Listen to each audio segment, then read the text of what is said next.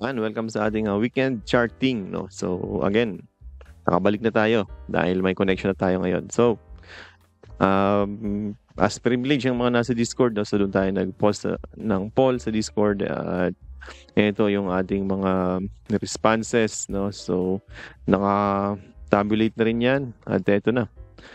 Uh, Ali Globe, Monde AC Mac. Sa kabila, part 2, Arit, GT Cup, Oh, na doble pala si Mac, no? Uh, ah, CVC at JGS. Yun. So, sige, hanap tayo ng kapalit ni Mac. Ang malapit-lapit na malaki, si MWC. Yun. So, bago magsimula, no? Let me invite you first sa ating Advanced Fundamental Trading course. Uh, last batch for this year. So, kung gusto nyo makasabay sa mga actual trading at mga real-time guidance natin, eh, join us sa ating Discord. Para maka-join sa Discord eh, be part of the students no? and yun mabawi nyo ang inyong vision sa mga group trades natin kaya nun. Okay so ang date is November 9 nag-start hanggang 30 saktong-sakto yan sa bull market. Kasama namin kayo. At makakasabay kayo sa mga trades natin at ito yung details. So, if you want to join us, eh, message lang or mag-register lang. Ito ang link at ito ang mga procedures paano mag-enroll. Okay, so see you sa Discord. Okay, so simulan natin kay Ali, no? So, Ayala Land. Ayala Land, lakas nung drop. Ang lakas ng pagkaka-sell off dito. Palibasa, ang laki rin ng nilipad niya, no? Kaya malakas din ang bagsak. So mula dito sa rally na to, no, ayun, no, nag-rally siya ng 38%. So normal lang talagang mag-correct, no? At nag-correct na nga siya ng 16%. Yun, malalim-lalim din, no? Kung nakabili ka dito, 35, assuming na magre-resume or mag-hold, ayun, down 7%. Anyway, chart-wise, makikita nyo na ang MA200 is nandito, no? Around 32. At yung trend line naman natin ay nasa ilalim, no? Somewhere near 32 din. So, yun talaga ang uh, good entry kung gusto niyo ng ali, no? 32 nyo abangan. Pwedeng somehow mag-hold na yan. At the same time, eh, eh ano na rin naman, um, election na din Though, si, ano kasi, si properties is medyo down yung forecast niya. Ang malakas lang is mga malls, no? Pero residentials is medyo weak pa. Kaya, medyo matagal pa makaka-recover to. Pero FA-wise, is ang estimates lang sa kanya is 11 pero nabigay niya is 20. So let's see sa 3Q. Kung maganda ang 3Q ito, akyat to. No? I think Check natin SMPH. Parang naglabas na SMPH. PH. Ah, wala pa rin. So, abangan natin yung mga earnings nila kung maglalabas. Kung maganda ang earnings yan, aakit yan. Kung medyo uh, inline or weak, hindi. Okay, so for Ali, ang kanyang PE is currently 20 times. Historically is 24. So, medyo fairly valued na. Ang kanyang target price is 40. Okay? So, kung 40 pesos at this level, or sabihin na natin dito sa 32 mo na bili, at 40, so meron pang 25% upside. Okay? So, okay pa to si Ali. Next. So, next natin is Globe. Ayun, si Globe, isa ring binentahan, no? Kala mo, hold na yung 2-2. Pero, umisa pa. Okay? Pero kasing blind item si Bilyonaryo no about dun sa uh, ah, CEO ng Globe. Pero wala namang impact yun sa operation ni Globe, no? Eh, personal niya yun eh. And kung mayroon man, dapat nag-reflect na yun sa uh, ah, FA ni Globe, no? Pero ayun no, ang estimates na growth sa kanya is negative 18 this year pero positive 1 siya. Ibig sabihin, beat estimates yan, no? Negative nga expectation, tapos positive 1 pa. So, hindi naman nag-reflect, no? Ano lang, bad sentiment lang. Okay, so basag yung uptrend channel. At malaki-laki din yung volume na yun. Itong volume na to. So, basag, tapos nag-oversold. Uh, technical bounce, no? Yan. Sa technical bounce na yan, i-test niyan itong level na to. Ayan. So, kung gusto niyo lumabas, dyan. Pag tinest yan, oy, lapit na pala. Na-test na pala. Ayan. Halos na-test na nga agad. Ang bilis, no? Ayan. Kung gusto niyo lumabas muna kay Globe, yan ang pwedeng exit area, yung level na yan. Kasi medyo um, Aakyat yan, pero kailangan niya munang basagin yung mga gustong lumabas. Medyo maraming naipit yan dito. Okay? Pero if you are still believer ng GCash, eh, hindi problem yan, no? Dahil si Globe naman is hindi naman umatras sa IPO. Actually, inaantay na yan mag-IPO next year. So, isa yan sa biggest IPO na inaantay. Kaya nga, yun, ano na to. Ah, okay. Kaya nga ano to, kaya malakas, no? So, actually, opportunity to enter to. Namigay ng good entry sa malalim na presyo. Okay. Um, PE niya, fairly valued na to, no?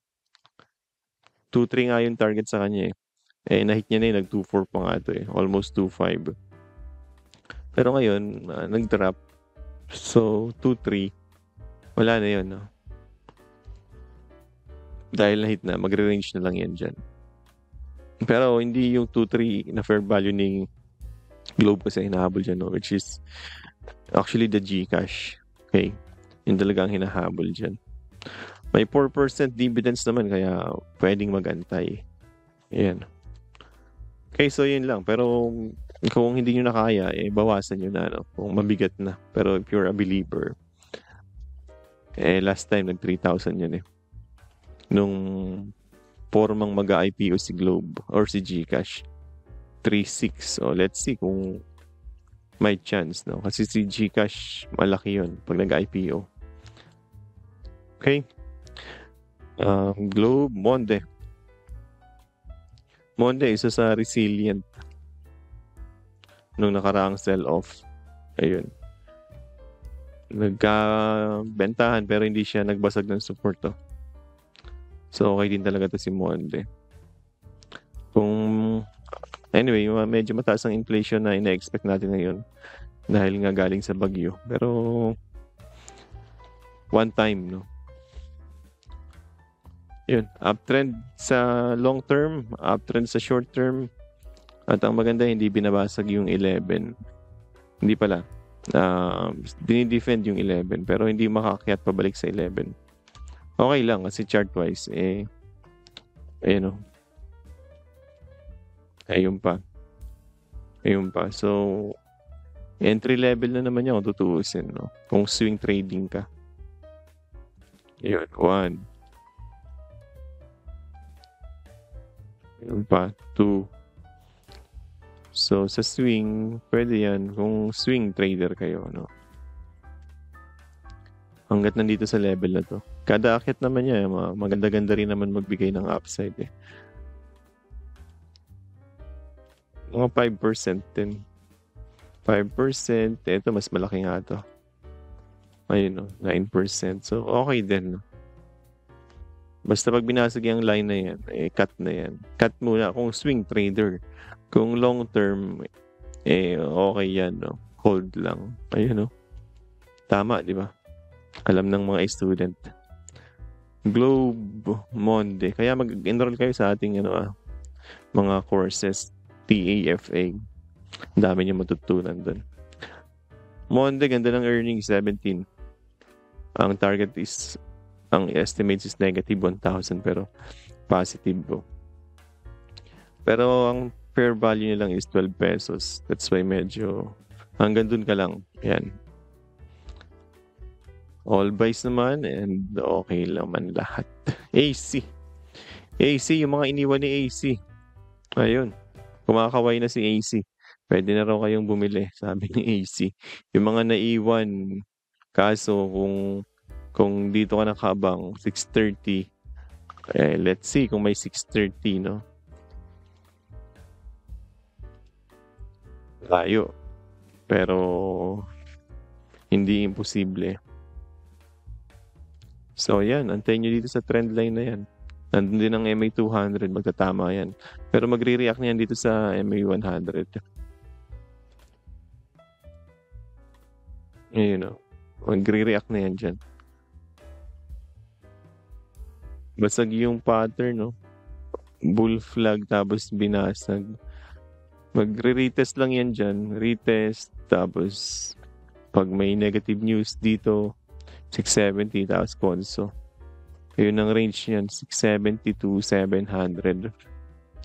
Pero sa long term, eh, kapal lang volume yan dito. Kaya ito, correction, okay yan. Mga dito sa 670. AC, you know, 7% ang target, 27 binigay. All buys pa. Target price 870. Malayo pa. Okay, mga 22% pa. Okay, o oh, last MWC para sa part 1. MWC, daming baya, puro green. Kaya lang, oh, yan, sasabi natin eh. M, W. Ah, ito pala yung M. M. Oh, isang W pa, isang leg. Kaasam lalim. Kung gusto nyo si MWC, dito nyo antayin, no? 25.3. Pag yan, hindi nag-bounce, diretso pa ilalim yan.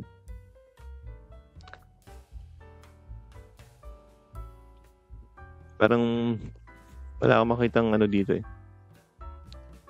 Kasi dapat nag-breakout yan eh. Ayun oh. Yung breakout na yan dapat di bumalik eh. Ay nag-retest. Baka mamaya ang maging information yun eh. Yung bearish top. Baka ganun ang gawin eh. Anyway. Uh, range muna. Yan naman ang range oh. 25 to 28. Laki-laki din yan. Oh, 10% din. So, gusto nyo i-range trade, no? Uh, earnings, 110. Tapos, walang forecast. Next year, 6%. Pero maganda ang earnings wala nito. Kaya ganun. 37, 36, negative. Okay, from negative pala yun. Okay. Ah, mukhang malito. Ah. Hindi updated to, no? So, ang tunay niyan is 37, 37. So, mga 36 year on year yan. So, panalo pa rin, no? Ang kanyang forward P is 7.2. Oh, mahal na siya. 12 times na siya ngayon, no? Bale, check natin dito. PE 9.42. Oh, mahal pa rin. 9.42. Forward 7. So, okay. No? Historical niya is 9.46. So, slightly fairly valued na to, no? Target price niya is 31. Yun. Konti na lang upside. Pero meron pa. 31. Yan, mga 20%. Oh, buy naman yung mga rating niya. Pero sa akin, ano na lang to. I-range trade nyo lang. Hanggat hindi nakakalaya dito sa 28, hindi yan mag-rally. Okay? Walang momentum sa ngayon. Range trade lang. Okay, so yun lang para sa part 1. At uh, part 2 naman tayo mamaya. Uh, Arit GTCAP, MAC, CBC, and JGS. Yun. Thanks for watching. Kita Hits Part 2.